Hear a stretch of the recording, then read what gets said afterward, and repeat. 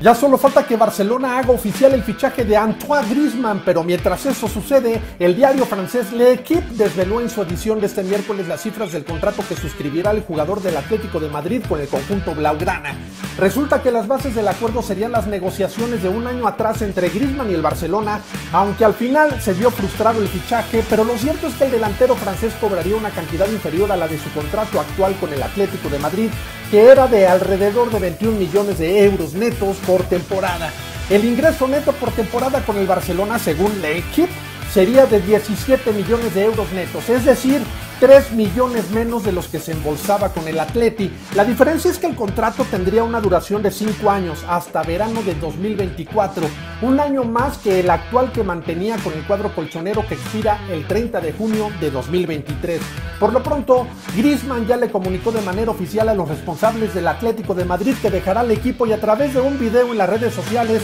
se despidió de la afición colchonera. Las negociaciones entre Barcelona y Griezmann se reactivaron con la eliminación del Atlético de Madrid en octavos de final de la Champions League a manos de la Juventus y el acuerdo entre los representantes del jugador y los abogados del club catalán se habrían cerrado en la segunda quincena de marzo.